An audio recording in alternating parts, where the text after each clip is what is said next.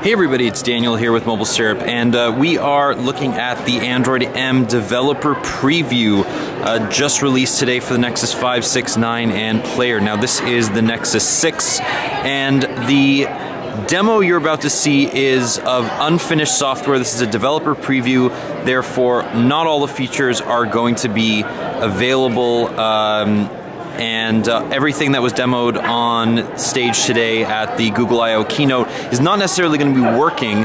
One of the features in particular now on tap is not well, it's not not working. It's just that there aren't any apps that currently support it. So I'll show you that in just a minute. But let's uh, take a look at um, sort of the fundamentals Right now you can see that this is uh, a very similar look and feel to Android L Lollipop. And that's because there really isn't that much fundamentally different underneath um, in terms of aesthetics with Android M. Now we don't know what it's going to be called yet. Maybe Marshmallow, maybe Mascarpone. I don't know, but it'll uh, certainly be revealed later this year, along with some features that we haven't seen yet. Now there's another feature here, uh, Android Pay, that isn't available to demo yet. Now that's not available, not going to be coming to Canada anytime soon anyway, but we'll get a demo of that in another video just to show you how that works. Now, uh, all that being said, let's take a look at what is here. You open the app drawer and you can see now the app drawer is vertical. Now that is a big change over uh, Lollipop.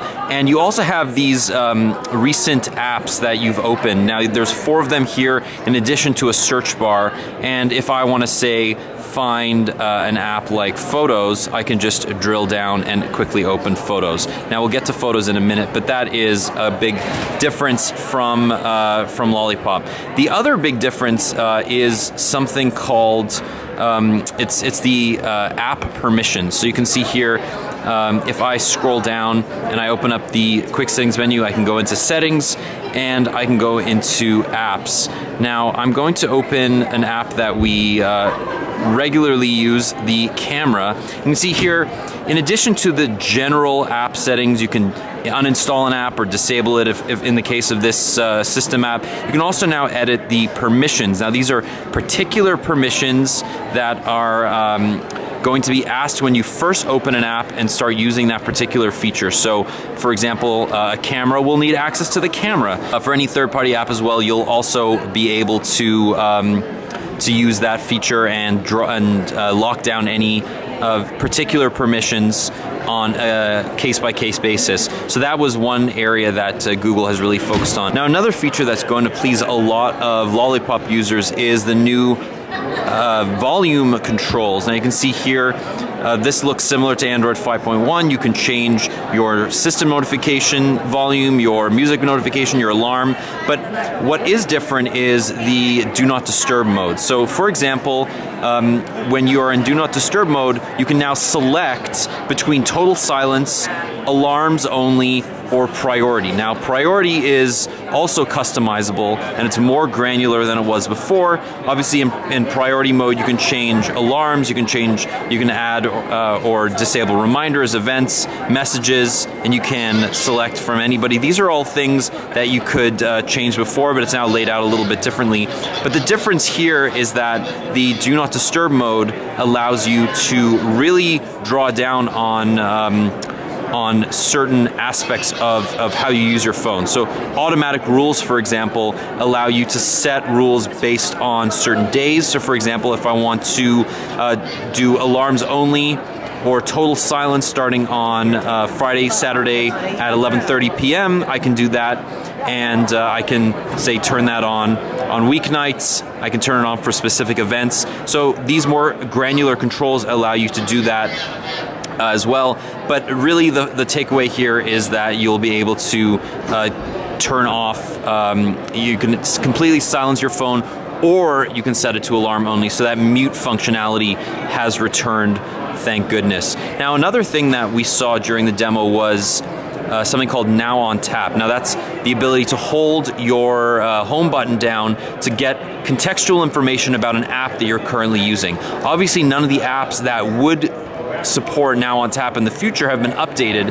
But that being said, you can still see how it'll look. A card will show up.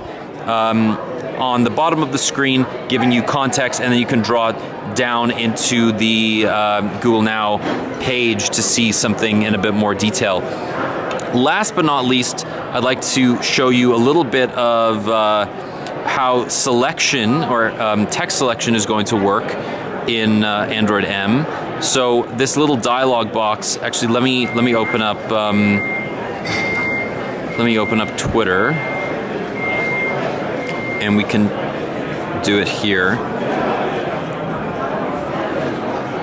So I have a, a, text box now. This is not this is an app that has not been updated to support M. This is just a system-wide change. You can see here when you're copying selecting text, a dialog will show up on top of the selection, allowing you to cut cut, copy, share, or this little uh, overflow menu allows you to select all. So that's going to be uh, true of all apps. It's going to be system level, uh, system level change in Android M, and uh, that is very nice to see. Now, Going into the settings, you can see there's not a whole lot changed. It's still material design, but one area that we uh, have seen that's different is a new dark mode, and that just changes certain elements of the UI uh, makes it a little bit more accessible.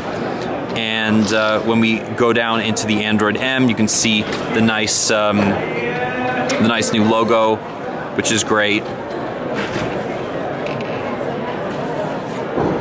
So that is uh, really nice to see. And so far, most apps that I've found uh, work pretty well with M because there aren't so many fundamental system level changes. Uh, they work pretty well, Twitter, Nuzzel, uh, Spotify. The only two apps that I have found that don't work at all are Rdio and Evernote. Now Evernote just uh, errors out completely and Rdio as well does the same. So uh, not everything is working just yet, but most apps that you uh, will want to use on uh, your Lollipop uh, device will work on uh, on the M preview if you want to install it to see how it works. So this has been a quick overview of Android M available for Nexus 5, Nexus 6, Nexus 9, and Nexus Player. Thank you so much for listening and watching. Uh, we will see you again soon.